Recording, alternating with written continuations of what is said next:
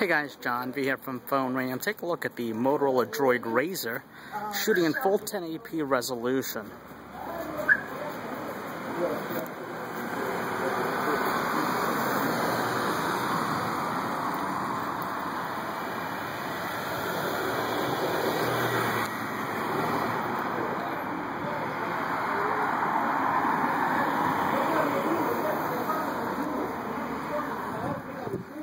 I believe it does offer continuous autofocus here. Let's see if it does.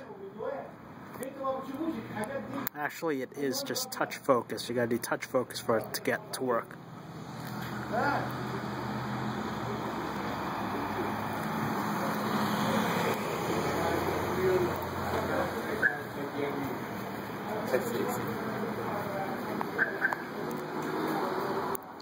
So there you go, that's the quality with the Motorola Droid Razr.